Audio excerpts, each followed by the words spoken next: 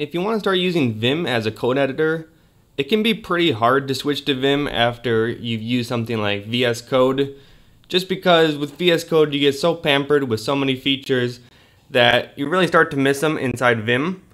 But in this video I'll show you how to take uh, the most useful features in VS Code, at least to me, these are the ones that I use the most, and basically how to replicate them in Vim.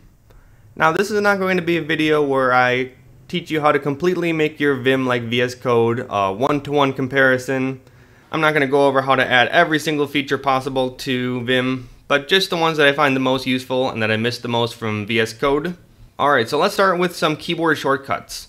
So one really useful keyboard shortcut that I found in Visual Studio Code is just the ability to move these lines around with just the Alt key. So right now I'm holding out Alt and just moving this line around. You can move it wherever you want. And you can also uh, copy the line down if you hold Control Shift Alt.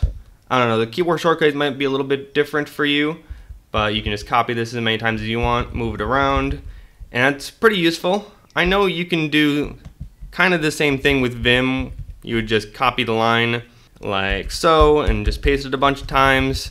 I know you can delete it and then paste it somewhere else. But if you specifically missed the keyboard shortcuts, from Visual Studio Code, then you can add this to your vimrc. And excuse the mess in my vimrc, but what you want right here are these commands right here. And so what you can now do is just do Alt J and K to switch the lines around like VS Code. And what these commands are doing right here is you are able to control Alt J and K to copy up and down. And then finally, you're also able to do this in visual mode. So we can copy two of these and then go Alt, J, and K to move these around. So if you want the exact same functionality, you would just copy and paste these. I'll have a link to my vimrc in the description, but I didn't actually make these commands myself, uh, so I can't actually tell you what these are doing. I just copy and pasted this from a website. Maybe I'll leave a link to that in the description as well. But you would just put these in, and then you can have exactly the same functionality that you would in VS Code. And another very useful feature is being able to have multiple cursors. So in VS Code, you can click around, uh, you can hold down Alt and click in different locations, and that will create multiple cursors for you. And you can then go and replace words with something here. Now, if you want, there are Vim plugins that actually do give you multiple cursors, but that's not what I'm going to go over in this video. I think for the most part you don't really need multiple cursors in Vim just because there are different ways to do things. So I'm not going to go over every possible example here, but let me go over a couple. So let's say I want to change these variable declarations right here to const instead of var. And so you would push Control V to enter visual block mode. So if you're not aware, you can navigate around and select things like you normally would in visual mode. But in visual block mode, you can select multiple rows at once and hit C to change. Then you can replace these with whatever you want. Let's say const, hit escape, and now it has inserted it down here as well. So in a way, you can have multiple cursors that way. You can also highlight these with visual block mode and hit shift I, and then you can insert something at the beginning of these statements. We can just put something here, push escape, and something has appeared on both lines. And you can hit uh, shift A to insert after one more time. Okay, so you can now have kind of something like multiple cursors in Vim. And another nice multiple cursor feature is the ability to select one of these words and then hit Control D and you go over every single instance of that word in here and then you can just replace it with something else. I actually don't like that it's case insensitive and it also grabs these as well, but let's just replace these with a different word. That's a pretty easy way to go over and change a whole bunch of things at once. You just hit Control D and it selects all these for you. And you can do almost the same thing in Vim. So all you would do is go over here and then first search for the word that you want to replace. So let's say emoji. And Vim is case sensitive, which I prefer actually. And so once you're at this word, you would type CGN. And it's going to change this word with whatever you want. Let's type symbol. And then what you can do after that is you can press period and it will just go through and change every single word that it finds. So that's basically the same functionality that you would get from VS Code. If you use Vim, you probably know that period just uh, replicates the last action you took. So basically you're just changing one of the words, or you're finding and changing one of the words, and then just doing the same to all the other words. So again, you would just search symbol, enter CGN, emoji, escape, period, period, period, change all those. So that's most of what I use multiple cursors for. Again, if you want more fine-grained control, there are actual plugins that will help you do that, but just these native Vim commands are enough for me for all of my use cases at least. Alright, and next let's talk about a few plugins. So one really nice feature of Visual Studio Code is that it automatically has syntax highlighting for every single language. So you don't have to install any syntax highlighter unless you're using some obscure language. Most of the time you just open your document and it highlights it correctly. And you can do that in Vim as well with this plugin called, let's see, Vim Polyglot. And basically you just install this and you get all these language packs in one. So pretty much any possible language that you would actually want to use is in here. And all you have to do to configure this is install it with your plugin manager. I do have a video on how to do this if you are not as experienced with installing plugins.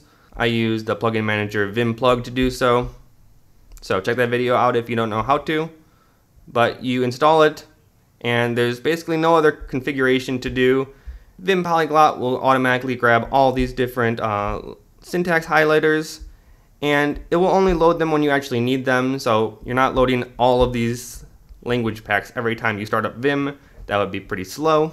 And next up we can install a plugin just to automatically close your HTML tags. So in Visual Studio Code, it will automatically close your tag for you. That's a little bit nice if you're working with a lot of HTML. And of course, there is a Vim extension that will do the exact same thing. It is called Vim Close Tag is the one I use. There's plenty of them, but this is the one I like. And again, this is just going to be as simple as installing the plugin with your plugin manager.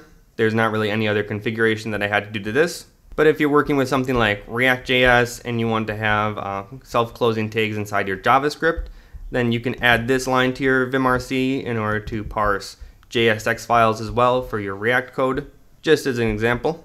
Okay, next up, let's talk about colors. For example, in your CSS, it can be useful to see what color it actually looks like. You have the hex value, but you're not really sure what it looks like just looking at it. So Visual Studio Code gives you a preview of the color to the left of it. And you can also download this with a plugin called Vim Hexokinase however you say that. And you can get something very similar to Visual Studio Code if you prefer having the colors on the side here. I actually prefer having the color in the background. It's a little bit easier to see at a glance. But if you do want to change how this is displayed, there is a setting. Let me find this in my vimrc. So by default, it's going to be virtual right here. Let me just save this and then restart this. So if you want to change how the colors are displayed, I have it set to be the background, but you can change it here. There's plenty of different settings. Virtual is going to be the most similar to VS Code. You can put it on the left side. You can just change the color of the text if you want, or you can do background like I like to have. But there's plenty of different options there, so you can customize it as much as you want. And with this setting right here, you can change it to only display on these types of files specifically, only CSS, HTML, and JavaScript just because whenever I type white in a markdown document, I don't really want the color to be shown. I already know what white is. So it's really only useful whenever you're coding. That's why I have these settings here. And next let's talk about Emmet. So Emmet is a really useful thing that you can use in Visual Studio Code, or in Visual Studio Code it's already included. But you can type out some short snippet and then have it convert to HTML. Let's say we want five divs in a row, so we can type div times 5 and then hit tab and we get all these divs right here. And you can get some other snippets. For example, if you want just a basic HTML boilerplate, you can type exclamation point dash and it gives you this really nice boilerplate right here. So this has saved me a whole bunch of time in writing HTML, otherwise it kind of takes forever. And in Vim we can do the same with the plugin Emmet Vim. Of course you can install it like the other ones. And then by default how you toggle it is you would type this, go to normal mode, and then it's control Y and then comma, which is kind of a really weird key binding, so personally I change it. Let's go to my vimrc. And you can set the leader key for your Emmet to something else. I set it to comma. So whenever I type something out, I just highlight it and hit comma twice and then it expands the snippet. So let's do something like div times 6 and hit comma twice and we get 6 divs as you would expect. I do have a whole nother video on Emmet if you want to learn more. And then finally, one of the nicest features that Visual Studio Code has is its IntelliSense. So when you're working in some programming language, it's probably going to know already what you're going to type. Maybe I want to add use reducer here and it already knows what I'm going to do because of Visual Studio Code's IntelliSense for JavaScript. So whenever I type something out, it's automatically going to help me by assuming what I want. Then I would just hit enter and we have this right here. And it'll also help me correct any issues that my code might have. So let's say I misspell this by accident, it's gonna have a red highlight under here. I can mouse over it and see what's wrong. Okay, I misspelled this. And you can actually get the exact same IntelliSense in Visual Studio Code using this plugin called COC. And what this plugin does is it actually gets the IntelliSense from Visual Studio Code and just translates it into something that Vim can read. And so you would start just by installing this plugin, coc.nvim, and then you would just install all the packs for the languages that you actually need. Let me go to the wiki so you can see all the language servers. So it's got all of these different languages right here. So you would just go through and install the ones that you want. Let's say I want JavaScript and TypeScript support. So you would use COC TS server. And you can do that by going into your vimrc and then setting this uh, COC global extensions command right here. And you would just put in all the different libraries or language packs that you wanted to use.